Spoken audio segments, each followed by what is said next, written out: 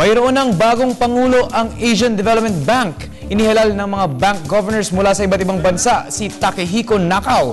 Si Nakao ay nag-aral ng BA in Economics sa University of Tokyo at nagtapos ng Masteral Degree in Business Administration sa University of California.